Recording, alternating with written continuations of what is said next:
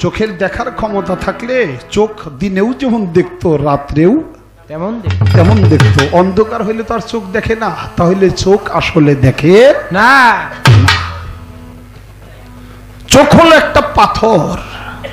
এই যে আলোটা এই আলোটা এই পাথর ধারণ করে যখন আবার থ্রোয়িং করে তখনই মানুষ চলতে পারে দেখতে পারে। চোখের মূলে দেখার কোনো ক্ষমতা নাই। নাই। চাঁদও আলো দেয়, কিন্তু চাঁদের তো নিজস্ব কোনো আলো নাই। সূর্যের আলোতে আলোকিত হইয়া চাঁদ যেমন আলো দেয়, তেমনি পৃথিবীতে যে আলোকিত হয়, এই আলোতে এই চোখের আইসা লাগে, চোখের পাওয়ারে তখন মানুষ দেখে। চোখ দেখে না, চোখ একটা পাথর। বাবা, কি বা কথা বলতে পারি, সাধক? হালিম চিস্তি তার গানের মধ্যে বলছে তৌহিদ সাগর এটা কঠিন পারি। অথই জলে মানিকে। পাবি হইলে ডুবারি। ধ্যানেতে ডুবিলে রে মন তোর তখন খুলে যাবে গুপ্ত নয়ন। তখন নিদ্রা ছাড়াই দেখবি স্বপন এই কলব হলে। জারি এটা ধ্যানের বিষয়। সাধকের সাধনার বলে সেই সাগর লয় মৈথন করে না সাধিলে ডুবে মরে হইয়া আনারি। যে চিনেছে জোয়ার ভাটা, তার তো তরিকতে সাঁতার কাটা। বেলায়তে মালের কোঠা সেই নদীর গম্ভীর। চলে সাগর ত্রিধারাতে, নবুয়ত আর বেলায়তে প্রেমের ধারা গোপনেতে যাইতে বন্ধুর বাড়ি। সেই সাগরের মিষ্টি পানি, ভবে যে খেয়েছে যতখানি, সাধক হালিম বলে, যেমনি জ্ঞানী, তেমনি তার ফকির। বাজার মানুষ সামনে দেখে না পিছে দেখে? বলেন তো বাবা। পিছে দেখে।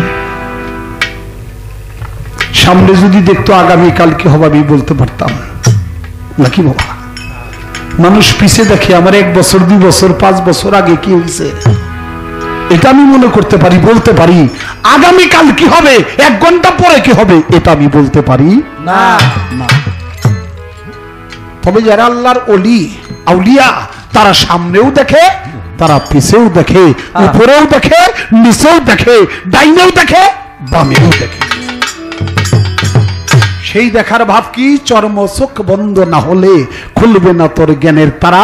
একবার হৃদয় দুয়ার দেখ না খুলে তোর ঘরের মানুষ ঘরেই চোখ মেলে যা দেখা যায়, চোখ বন্ধ করে যা দেখা যায়, চোখ মেলে কোনোদিন তা দেখা যায় না। না। বাবা। তাকাইয়া রয়েছেন পিছনে পর্দা। এর পিছনে কিন্তু আমি আপনি দেখেন না, আমিও দেখি না। কিন্তু একবার চক্ষু দুইটা বন্ধ করে আপনি দেখেন না আপনার পীরে মোর্শেদের চেহারা, আপনি দেখেন না আপনার মা বাবার চেহারা। আপনার সামনে আর কোনো দেয়াল আসবে না। তাই দেখার ভাবধারাটা বাবা দুইটা, একটা হলো শরীয়ত আর একটা হলো মারফত। চোখ মিলে শরীয়ত দেখা যায়। আর চক্ষু বন্ধ করলে কেবল মারভূত দেখা যায়।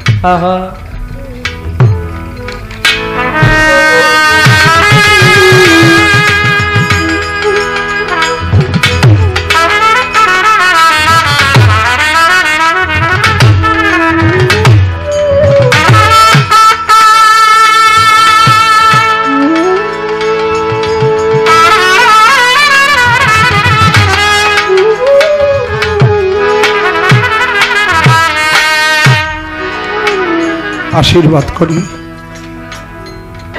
মহান মালিক যেন শিশু বাচ্চা, সে এক সময় অনেক বড় হয়। বড় হয়ে যেন মানুষকে প্রেম বিতরণ করতে পারে। তো বাজান আমি আর এই জায়গার মধ্যে কথাটা না বলি। সতর্ক রয়েছে শাহলম সরকার বানরের মতো। অবশেষে মুড়িদের হাত নিয়া এমন একটা জায়গায় আসছে। আমার বাড়ির মেহমান আপনারা, আমি যদি আপনাদেরকে দাওয়াত করি, আমি যদি পোলাও গোস পাকাই, তাহলে আপনারা তাই খাবেন না বাবা? আমি যদি সাদা ভাত পাকাই, আপনারা তাই খাবেন তো? আমি যদি খিচুড়ি পাকাই, আপনারা তো তাই খাবেন। খাওয়ানোর দায়িত্বটা তো আমার। আমি আজকের গান দিয়া আমার এই গান গেয়ে আমার আগামী প্রজন্মের জন্য আমি কয়জন আশেক বানাইলাম, কয়জন প্রেমিক বানাইলাম? এটা দেখার মুখ্য বিষয়। আমি যা খাওয়াবো আপনি তাই খাবেন। আজকে আমি যা দিব, আপনারা ঠিক সেইভাবেই তৈরি হবেন। আমি আর কিছু বলতে পারি না। প্রশ্ন করেছে, আমি তার জবাব দেব, নফসাম্মারা, নফসে লৌমা নফসে মুলহেমা। নফস রহমানি নফসে মুতমাইন্না। নফস আম্মারা সে হলো নাভি থেকে আট আঙ্গুল নিচে। নিচে। এই নফস আম্মারা আল্লাহ রাসিনা যাইব এর ভাবটা কি কারণটা কি? আমি কারণটা কীভাবে বলব বাবা? যদি এই নব আমি তো বলি নাই নফস আম্মারার কথা এখানে বলা হয়েছে শুধু নফস। নফসে খোদা নফসে শয়তান আমি করি নফসের তাবেদারি। জালালউদ্দিন খাতার গানের মধ্যে বলছে নফস যেহেতু পাঁচটা, এখানে কোন নফসিল্লে আমার মালিককে চেনা যাবে? এটা একটা বিষয় অবশ্যই রয়ে গেছে। আমার কথা ছিল না যে নফসা আম্মারা চিনলেই আল্লাহ রয়েছে না যাবে। তারপরেও সে বলছে, ধন্যবাদ।